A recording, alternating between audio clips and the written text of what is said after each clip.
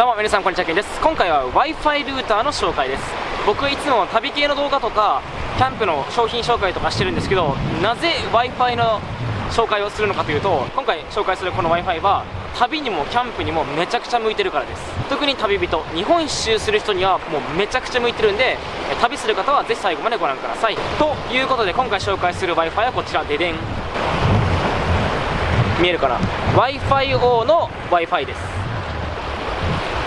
数ある Wi-Fi の会社でなぜこの Wi-Fi をおすすめするのかというと理由は2つあります。1つ目は最低の使用期間が設けられていないということです。つまり1ヶ月だけしか使用しない場合でも契約していいんです。1年間契約しないといけないとか2年間契約しないとかいうそういうのないんで1ヶ月だけとか2ヶ月だけ契約するっていうことができます。でバイクで日本一周だと大体3ヶ月。えー、転車日本一周だと大体半年ぐらいかかると思うんですけど今皆さんが使ってるキャリアのデータ通信の容量だけじゃ絶対に足りないです、まあ、よく考えてみればそうなんですけど、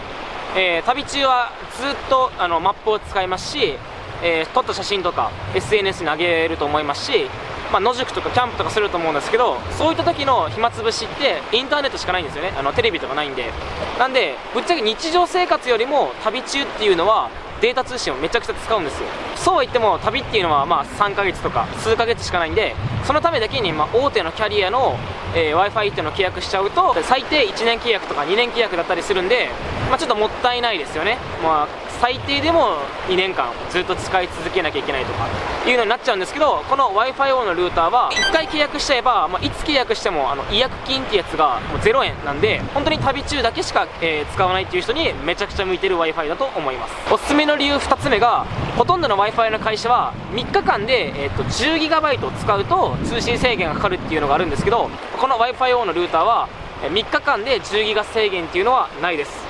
えー、1ヶ月間で 100GB までここね 100GB って書いてあると思うんですけど1ヶ月間で 100GB まで使えるんですけど 100GB の中やったら24時間で、10GB 使おうが、えー、48時間2日間で 10GB 使おうが、えー、通信制限というのはありません、えー、1ヶ月間で、え 100GB もう思いっきり使えるっていう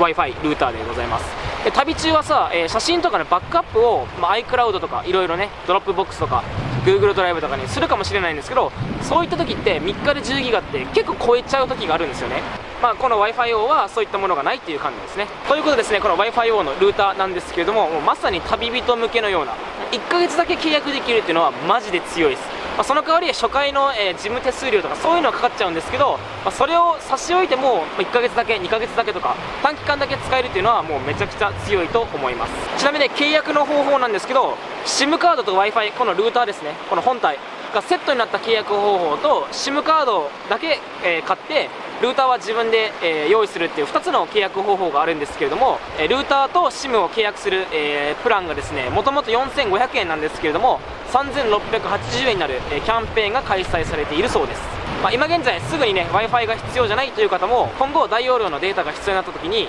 例えば数ヶ月間とか、まあ、3ヶ月間だけとか解約、え、契約してえー、3ヶ月後に、え解約するとか、まあ、そういった短期間とか、え、緊急で大容量の容量が必要になった時とか、まあ、そういった時にこの w i f i 用っていうのはいつでも解約できるっていうのはもうめちゃくちゃ強いんで